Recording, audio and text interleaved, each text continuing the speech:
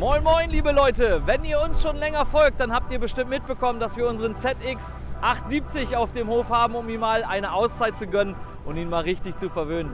Nachdem er neue Fenster und eine Grundwartung bekommen hat, ja, haben wir Ober- und Unterwagen voneinander getrennt. Denn nun lag der eigentliche Grund an, warum er hier ist. Unser Big Boy, wie er hier da hinten steht, hat einen komplett neuen Drehkranz bekommen. Heute war es dann soweit. Heute haben wir alles wieder zusammengefügt und nun kann der Bagger wieder loslegen. Nächster Stopp für den großen Bremen. Gute Reise, mein Freund!